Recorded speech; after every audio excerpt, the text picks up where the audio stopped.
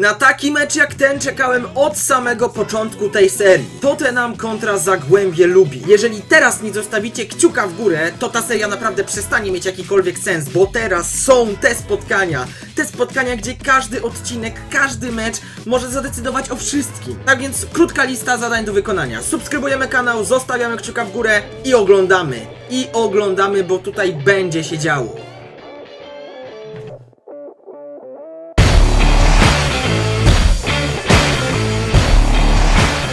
Poważnie mówię, ten mecz ma szansę przejść do historii i to jest dopiero początek naszej pięknej, przepięknej przygody. Oczywiście tutaj w kolejnej Superlidze, już drugiej Superlidze, ale nasz skład będzie przygotowany, będzie skoncentrowany na ten rewelacyjny mecz, mecz z Tottenhamem i to będzie naprawdę wyzwanie, to będzie ogromne wyzwanie. Początek sezonu dla Kokutów nie był najlepszy, ale w meczu z nami sądzę, że będą chcieli udowodnić, że to oni są tutaj pretendentem do tytułu i będą chcieli wrócić do głównej klasy rozgrywkowej, czyli do pierwszej Superligi. A teraz zobaczmy, mamy ofertę transferową za Bartka Kapustkę od Sunderlandu.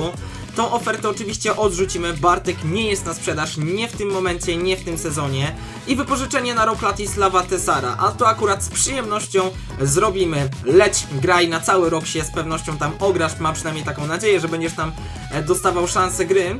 Mm, otrzymaliśmy ofertę, oferta transferowa, Gumny przyjął proponowany kontrakt, to wszystko już wiemy, to wszystko już mamy zapewnione. W takim razie lada moment będzie miał miejsce ten mecz, gdzie gramy, co warto podkreślić myślę, gramy w Lubinie, czyli gramy u siebie, a póki co sytuacja w tabeli prezentuje się następująco, FC Basel ma identyczną sytuację punktową jak Feyenoord Rotterdam, czyli tych punktów mają 9, my jesteśmy na trzeciej lokacie z drobkiem punktowych w liczbie 7 punktów, dwa zwycięstwa, jeden remis, a Tottenham, Tottenham bardzo słabo, bardzo słabo, 12 miejsce, jeden mecz wygrany, jeden mecz zremisowany, jeden mecz przegrany, a co za tym idzie 4 punkty, to nie jest wymarzony start sezonu dla kogutów, bez wątpienia tutaj nawet nie ma co ukrywać, no więc czas zobaczyć, czas, czas zobaczyć jak się spiszą ci zawodnicy w tym wielkim meczu, ja naprawdę nie mogę się doczekać. Szczerze powiedziawszy, to sam nie wiem na co mam się nastawiać w tym spotkaniu. Przede wszystkim nasz skład nie wygląda tak jak powinien wyglądać. Głównie tutaj mi chodzi o kontuzję Starzyńskiego i Filipa Mladenowicza. A sytuacja w tabeli za to wygląda dosyć ciekawie i dosyć interesująco. Tak jak powiedziałem, koguty po marnym początku sezonu, no nie ukrywajmy, marnym początku sezonu, będą chcieli bez wątpienia tutaj pokazać kto rządzi, kto króluje. No a Zagłębie ma szansę zawalczyć, zawalczyć naprawdę z drużyną z całkowitego topu. I mamy informację właśnie o debiucie Oli Ainy na lewej obronie. Postanowiłem dać tego zawodnika, dać mu szansę głównie ze względu, że jest to klub z Anglii. Tottenham to klub z Anglii, klub z Londynu i Ola Aina poniekąd będzie miał szansę i ma już jakieś doświadczenie, jeżeli chodzi właśnie o grę na takim szczeblu i z takim klubem. I spójrzmy na całą jedenastkę Zagłębia Lubin. Na bramce oczywiście Drągowski, później Kędziora, Oxford, Pazdan, lewa strona to Ola Aina, środek pola Fosumensa, Karolinety, Zinchenko, atak to Kapustka, Wacław Cierny i Moses Simon. Naprawdę mocna jedenastka. Ale czy wystarczająco mocna, żeby zagrozić Tottenhamowi? O tym przekonamy się lada moment. Widzimy tutaj Eriksena, jest to gwiazda światowego formatu. Trzeba będzie na niego uważać, bez wątpienia. To jest człowiek, który umie rozgrywać, który potrafi po- w świetny sposób zarówno strzelić, jak i podać. A tutaj mamy ustawienie Tottenhamu na dzisiejszy mecz. Liori, Stripper, Van Beek, Wimmer. Później, jeżeli chodzi o obronę, mamy Danego Rosa, Bentaleb, Wanyama, Lamela, Eriksen, Chadli i Jansen na ataku. Jak widzimy, obrona nie wygląda tak, jak zazwyczaj wygląda obrona Tottenhamu. Czyżby to oznaczało, że Spursi będą chcieli nas nieco zlekceważyć? Szczerze, liczę na to. Liczę na to, że nas zlekceważyli, ponieważ zagramy na ich nosi i my mamy plan wygrać ten mecz. Co więcej, powiem wam, że to jest naprawdę realne, naprawdę realne. Gdyby wystawili stuprocentową jedenastkę, to wtedy by było ciężko. Ale teraz jest szansa. Jest szansa. Oj, dobra akcja Tottenhamu, strzał i Eriksen umieszcza piłkę w siatce. Niestety, tak się kończy słaba gra w obronie. Nie ma co się oszukiwać, to była słaba gra w obronie. I Eriksen, jak i cały Tottenham wjechał na nasze pole karne właśnie lewą stroną, gdzie gra młody Ola Aina. No póki co ten zawodnik nie popisał się bez wątpienia. Zresztą cała obrona tutaj zachowała się niczym amatorzy, a Eriksen nie myli się w takich sytuacjach. 1 do 0 dla Tottenhamu, niestety. Koniec, po 45 minutach, pomimo przewagi Zagłębia, to Tottenham prowadzi 1 do 0, wykorzystał dobrze swoje sytuacje, swoje sytuacje, których mieli dużo, dużo mniej, zdecydowanie mniej, ale co za tym idzie, skuteczność naszej drużyny nie jest na najwyższym poziomie w tym spotkaniu, zresztą co potwierdzą, myślę, statystyki, no bez wątpienia. Strzały celne, ale co z tego, jak wszystkie leciały prosto w ugol Jorisa, to nie wygląda dobrze, to nie wygląda dobrze. Nie jest to wymarzony debiut Oli Ainy, bez wątpienia, za jego, na jego miejsce na boisku pojawia się Daniel Dziwniel, ale co my się tutaj mamy dziwić? To naprawdę był słaby mecz. A na boisku, jeżeli chodzi o Tottenham, zamiast Bentaleba pojawił się Musa Dembele. Wacław Cierny zobaczył tam kapustkę i to musi być, to po prostu musi być jeden do jednego, tak też się stało, Moses Simon wykorzystał piękną tacę od kapustki, to jest w 100% akcja tego naszego tercetu ofensywnego, Wacław Cierny, Moses Simon i Bartosz Kapustka, idealnie, po prostu idealnie, mamy remis, mamy remis i jesteśmy głodni sukcesu w tym spotkaniu i chcemy to pokazać na boisku, jeden do jednego. Lamela będzie dośrodkowywał w pole karne. Strzał broni Drągowski. 83 minuta to odpowiedni czas na kolejne zmiany. Solomon Otabor i Mateusz Klik na boisku zamiast Aleksandra Zinchenko i Wacława Ciernego. Do boju, do boju Zagłębie. Atakuje Tottenham. Ciągle to ci zawodnicy są w natarciu. Pazdan! Kolejny rzut rożny dla Tottenhamu, ale wystarczy przejąć piłkę i zabrać ją i oddać do Solomona Otobora strzał. I teraz to jest ta szansa. Drągowski widzi tamtego zawodnika, zobaczył go, dostrzegł. I to jest ta kontra, to jest Viv Solomon Otabor, który jest piekielnie szybki, jest w tym momencie już sam na sam. Viv Solomon Otabor, Viv Solomon Otabor! Tak, on to zrobił znowu! Znowu w identyczny sposób Solomon Otabor ustawił się na kontratak po rzucie rożnym. Ugol Joris załamany, ponieważ Tottenham miażdżył Zagłębie w drugiej połowie, w szczególności przez ostatnie 20 minut, a jedna kontra, dosłownie jedna kontra miedziowych zmieniła wszystko. Zmieniła wszystko i z piekła przenieśli się do nieba, do siódmego nieba, po strzale Viva Solomona Otabora. Mamy bramkę. To jest coś niesamowitego, nieprawdopodobnego. I koniec! Koniec, to jest wygrana! Wygrywamy z Tottenhamem u siebie, to jest coś nieprawdopodobnego, naprawdę.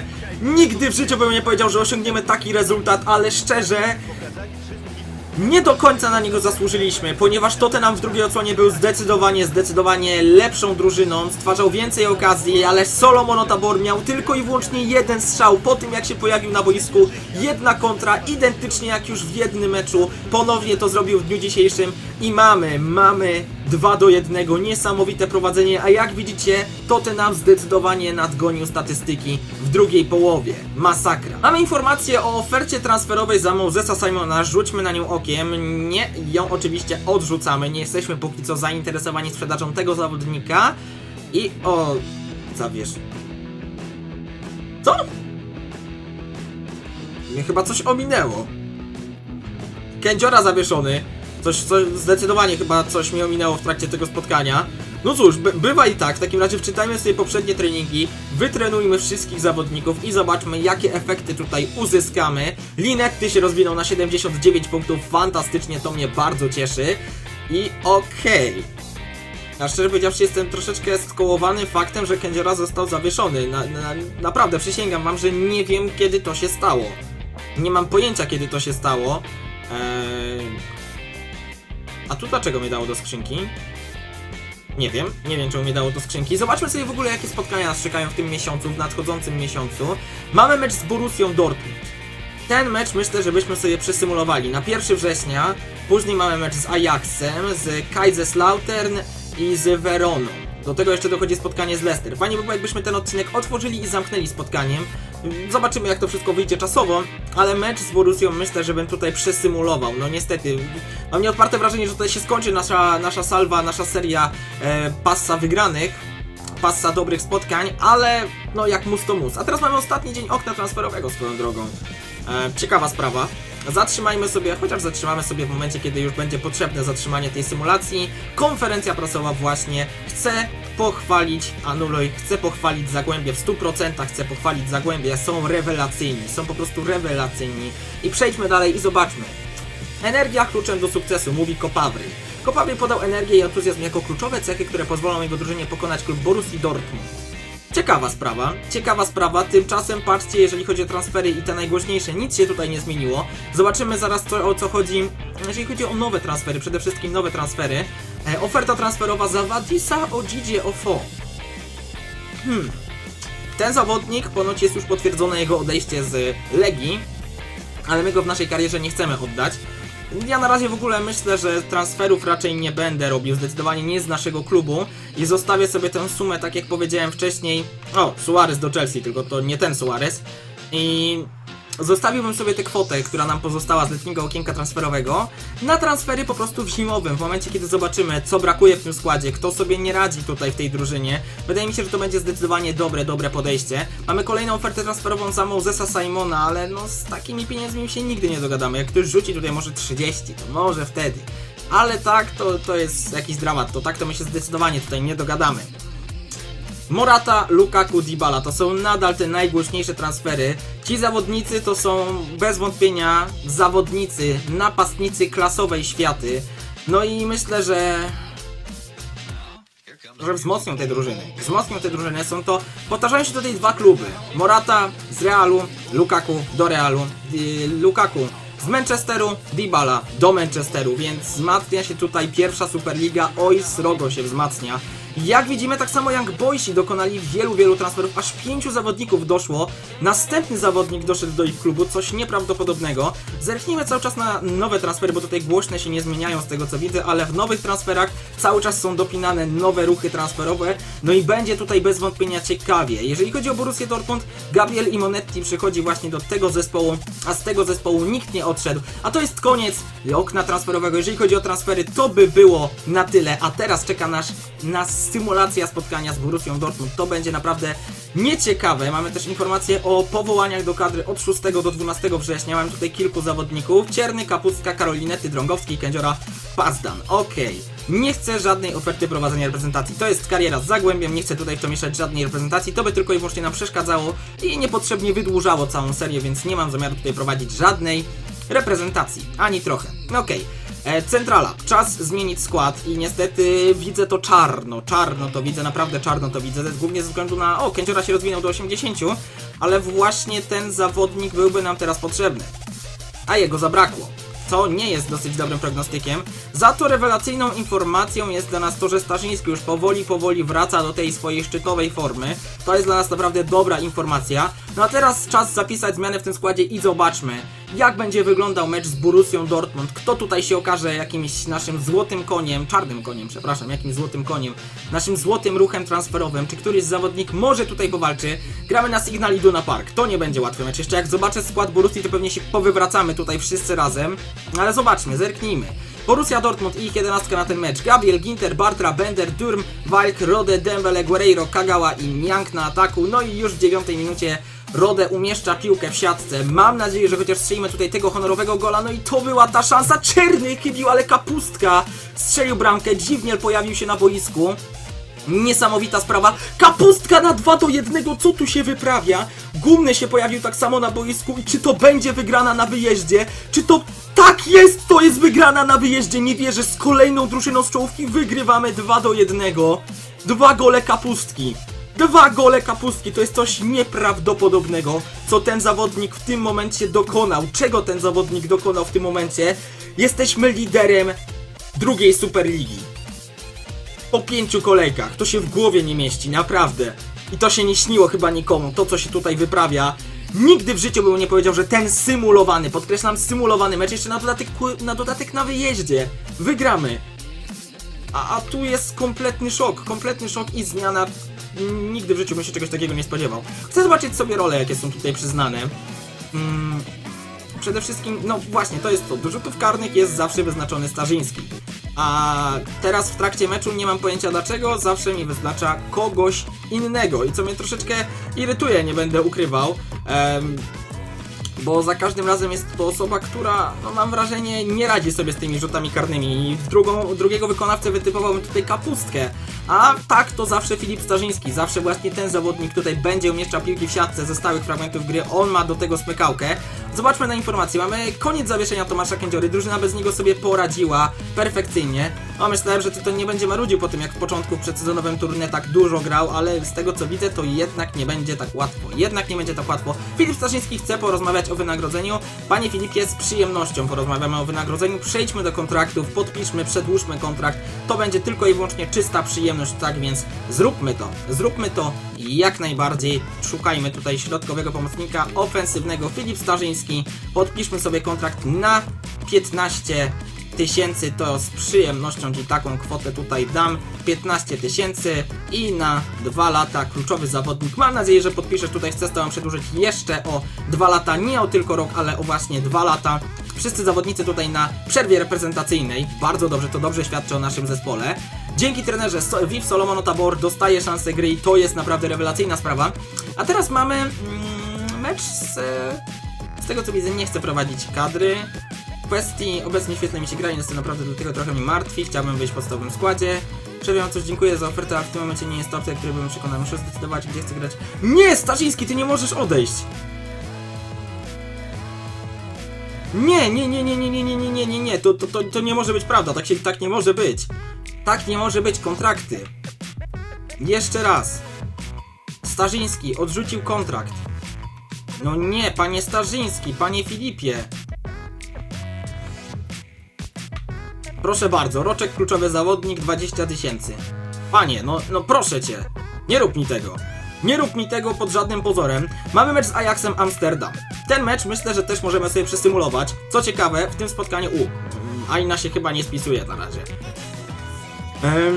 Co ciekawe, w tym meczu będzie grał zawodnik, który odszedł z tamtej drużyny, jakby nie patrzeć. Mowa tutaj oczywiście o Wacławie Ciernym. A teraz do wyjściowej jedenastki wróci oczywiście Filip Starzyński. Zamiast Linet tego wróci tutaj obok Zlinczenko, Fosumensa oczywiście na pozycji defensywnego pomocnika. No i zobaczmy, przejdźmy do ról i oczywiście oddajmy opaskę kapitańską Filipowi Starzyńskiemu. Rzuty karne również Filip Starzyński. Bliski wolny z lewej, Filip Starzyński. Bliski wolny z prawej, Filip Starzyński. Daleki rzut wolny, Filip Starzyński. No i piękna sprawa, w takim razie możemy zapisać zmiany w tym składzie i ruszyć dalej. Myślę, że możemy spokojnie ruszyć dalej. A zagrałbym sobie z ciekawości mecz z jakimś zespołem takim bardziej ikonicznym. Na przykład widzi mi się czytanie jedenastki Kaiserslautern. To by było naprawdę ciekawe, ale za to może mecz z Leicester. To by też była ciekawa sprawa. Zobaczymy. Na pewno przesymulujemy ten mecz z Hellas Veroną. Kimkolwiek to tam damy szansę zagrać e, tam Borucowi. Nie Borucowi, Boże, jakiemu Borucowi? Tytoniowi. A teraz mecz z Ajaxem. Ostatnio wygrali aż 4 do 0 z LA Galaxy, ale co jest ważne i co jest na naszą korzyść, to to, że gramy w Lubinie, ale to nie przyniosło tutaj pożądanego rezultatu. Mamy porażkę 2 do 0. Wygrał z nami Ajax, pokazał kto tutaj rządzi. No najważniejsze jest to, że cały czas jesteśmy w tej czołówce, ale straciliśmy fotel lidera na rzecz właśnie Ajaxu. Wczytajmy sobie poprzednie treningi, potrenujmy tych zawodników. Nie wiem, czy tam Kownacki został wprowadzony z ławki, czy nie chciał zagrać w tym meczu. Nie zwróciłem szczerze powiedziawszy na to uwagi, nie będę owijał w bawełnę. Ale w meczu właśnie z Hellas Veroną, bodajże właśnie z tym klubem teraz będziemy grać, zagra sobie przede wszystkim Mm, Tytoń i właśnie Kownacki, który jest rozczarowany brakiem, e, brakiem gry, spokojnie, w tym momencie ci Kownacki daje, nie chce podpisać kontaktu, skontaktować się z nami swojego nie jest to dobra wiadomość, potem Starzyński mówią, że, że, nie chce pozostać sobie otwarte drzwi, ale trzeba by planować najlepszą przyszłość bez niego. O nie, nie, nie, Starzyński, nie, my tego tak nie zostawimy, panie. Chcesz rozmawiać o kontrakcie, a później mi robisz taką, takie rzeczy? Tak nie może być. Nie może tak się zachowywać kapitan naszej drużyny. Kownacki i Tytoń i spoko. Myślę, że to jest dobra dobra decyzja, dobra partia tutaj. Mm, Okej, okay. zabierzmy zmianę w tym składzie. Raczej nikt więcej nie powinien tutaj narzekać na brak gry.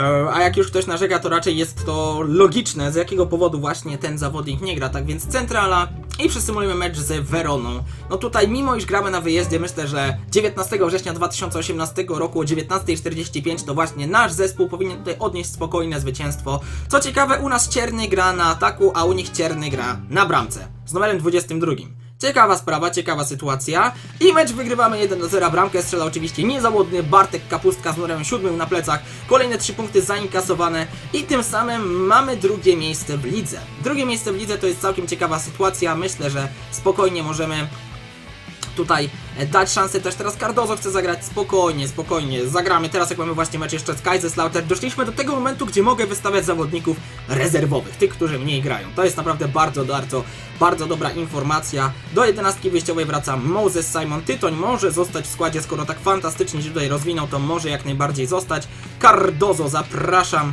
I na ławce rezerwowych pojawi się Zinchenko zamiast e. Ofo nie okej, możemy zagrać w ten sposób. Cardozo mam nadzieję, że się pokaże tutaj z jak najlepszej strony i zagrajmy, te, z, przepraszam, przesymulujmy ten mecz, zagramy sobie spotkanie z Leicester. Leicester wydaje mi się, że spokojnie powinno być w naszym zasięgu, że powinniśmy móc pokonać ten zespół. Teraz gramy u siebie w Lubinie z Kaiserslautern i zobaczmy, przybliżmy sobie legendarną jedenastkę Kaiserslautern z 22 września 2018, gdy polegli w meczu z Zagłębie Lubin. Weiss, później Schulz, Tigl, Wuczur, Ali, Moritz, Ring, Stiber, Cejna, był też taki zawodnik jak Halfard, nie wiem czy pamiętasz tutaj, Zuła, który strzelił wtedy bramkę w 33 minucie, piękne uderzenie z woleja, lewa noga z 11 metra po rzucie rożnym, dośrodkowanie tutaj Ringa, Zuła fantastycznie wtedy umieścił piłkę w siatce, Cardozo co ciekawe umieścił piłkę w siatce, a Kędziora odniósł kontuzję, i co jest ciekawe, to jest ta jedenastka, historyczna jedenastka, która odniosła zwycięstwo z Zagłębiem na wyjeździe. A do tego to się nie spodziewałem, szczerze powiedziawszy, że przeczytam taki skład, ale mniej mi się podoba informacja o kontuzji Tomasza Kędziory. Na szczęście jest to tylko i wyłącznie skłuczenie nogi, tak więc dwa tygodnie. Cardozo, najwyższy czas, żeby zagrał, zagrał, strzelił bramkę, ale niestety w tym meczu całym, no niestety polegliśmy. Czas zrobić trening, zatrzymajmy sobie tutaj e, czas i zróbmy sobie trening. I do treningów właśnie dodałbym e, Igora Cardozo. To jest zawodnik, który się rozwija w fantastycznym tempie, więc trzeba go sobie... em, trzeba go sobie trenować, jak najbardziej trenować. Kownacki mam nadzieję, że rozwinie się na 76 punktów overalla. Czy tak się stanie? Przekonamy się o tym lada moment. No nie, ale Czerny i Gumny się rozwijają, to mnie bardzo cieszy. A co za tym idzie, moi drodzy, przechodzimy dalej i lada moment czeka nas mecz z Leicester. I ten mecz myślę, że sobie spokojnie rozegramy, tak więc ja Was zapraszam na skrót, na skrót spotkania z Leicester City. Kolejny mecz, który rozegramy w drugiej Superlidze, a jest to spotkanie na King Power Stadium z Leicester City. Niesamowite spotkanie, niesamowite emocje towarzyszą obu klubom, ponieważ Zagłębie walczy o sensacyjne miejsce w czołówce na samym początku tego sezonu. Natomiast Leicester City liczy na wkroczenie właśnie do tej czołówki po takim miernym początku sezonu właśnie w drugiej Superlidze. Tym razem chcą się odbyć, chcą pokazać na swoim terenie, ponieważ gramy właśnie w Anglii kto jest najlepszym klubem, kto jest najlepszym klubem na tej murawie. No, my wiemy dobrze, że będzie to Zagłębie, ale Leicester chce się załapać do pierwszej dziesiątki. Zagłębie czwarte miejsce. Mamy szansę na wskoczyć, wskoczyć na pierwsze miejsce. Potrzebujemy 3 punkty. 3 punkty. To jest naprawdę w naszym zasięgu. Tomasz Kopawy też o tym wie i to samo powtarzał swoim zawodnikom w szatni. Oni też są tego w pełni świadomi. A teraz widzimy przywitanie obu jedenastek i rzućmy okiem na składy. Na składy Zagłębia, a tutaj na bramce mamy zawodnika doświadczonego, bez wątpienia zawodnika doświadczonego, który nie raz, nie dwa grywał już na wielu boiskach. Jest to oczywiście Polak. Mowa tutaj o fantastycznym zawodniku, jakim jest. Bartek Drągowski, później na obronie sensacja, ponieważ mamy młodego zawodnika w wyjściowym składzie, głównie ze względu na kontuzję zawodnika Gumny. A jedenastka gospodarzy Schmeichel, Simpson, Diagne, Fernandez, później Fuchs, Mendy, Góralski, Mares, Albrighton, Musa i Wardi. Duet naprawdę dwóch niesamowicie szybkich napastników. Będą mieli spory problem tutaj zawodnicy em, Zagłębia. Na bramce Przemek Tytoń, który zastępuje właśnie wcześniej wspominanego Bartka Drągowskiego, a później Gumny, Oxford, Pazdan, Dziwniel, Fusumensa, Zinchenko, Starzyński, Cierny, Moses Simon i Bartek Kapustka. A teraz czas rozegrać mecz. Rozegrać mecz w drugiej Superlidze.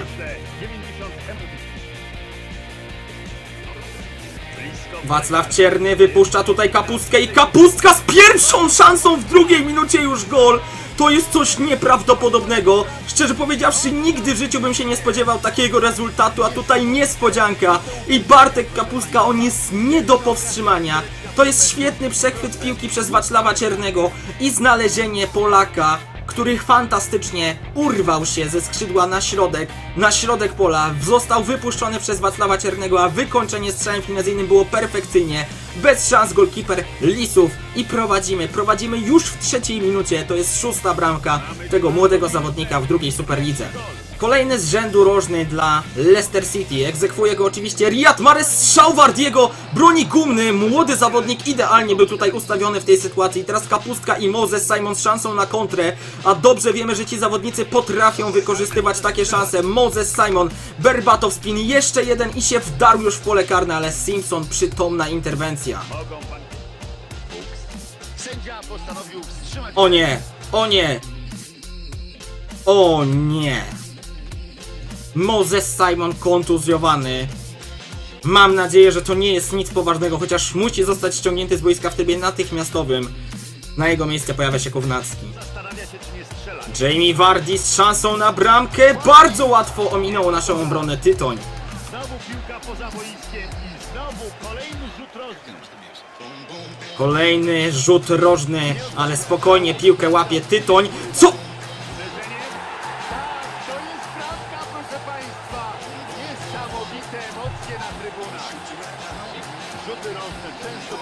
Że co?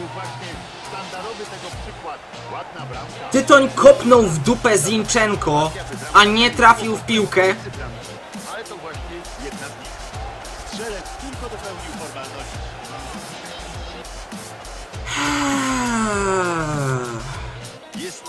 Do O. Boże. O Boże. Statystyki po pierwszej połowie prezentują się następująco. Zapomniałem w przerwie o nich wspomnieć. Ale to oczywiście Filip Starzyński będzie egzekwował ten rzut wolny. Pytanie tylko jak to zrobi? Jak go wykona Starzyński? O mój Boże. I koniec. Ten mecz zakończony remisem 1 do 1. Całkiem ciekawe spotkanie, wyrównane przede wszystkim. Szanse zarówno po jednej, jak i po drugiej stronie. Statystyki po całym spotkaniu prezentują się następująco, ale nadal nie mogę po prostu zrozumieć tej akcji, naprawdę tej bramki. To było coś, coś, coś nieprawdopodobnego, naprawdę. No, sytuacja komiczna, ale mi nie jest do śmiechu, bo straciliśmy przez to 3 punkty. No ale cóż, tak to niestety bywa. Czas przesymulować dalej. Mamy wyniki pozostałych spotkań. Spursi, jak widzimy, rozjechali 3 do 0 Bari. Ale no mnie najbardziej interesował ten mecz. Ten mecz, który oczywiście graliśmy, a on został. On jest przegrany niestety. Przegrany, przepraszam, remis. Ale ten remis jest dla mnie szczerze powiedziawszy jak porażka. 17 punktów i nie jesteśmy już nawet w tej ścisłej czołówce. Fakt faktem, jesteśmy top 5 ale tutaj miało być top 1. Tutaj była szansa na, na prowadzenie, na prowadzenie w tabeli, a tak się nie dzieje. I to mnie naprawdę niestety boli, to mnie naprawdę bardzo boli, ale moi drodzy, to by było na tyle, jeżeli chodzi o ten odcinek. Mam nadzieję, że się Wam podobał. Koniecznie zostawiamy kciuki w górę, subskrybujemy mój kanał, jeżeli chcemy więcej drogi na szczyt. I moi drodzy, no jest prosty układ. Subskrybujecie kanał, łapkujecie te odcinki, żeby miały naprawdę dużo kciuków w górę, co najmniej 5000 i wtedy się pojawia droga na szczyt. A nie, co trzecim filmie mam pytanie, kiedy DNS, kiedy DNS, kiedy DNS, a jak już rzucam, to, to statystyki są beznadziejne. To to nie tak działa. To nie tak działa. Na razie, papa, pa, cześć.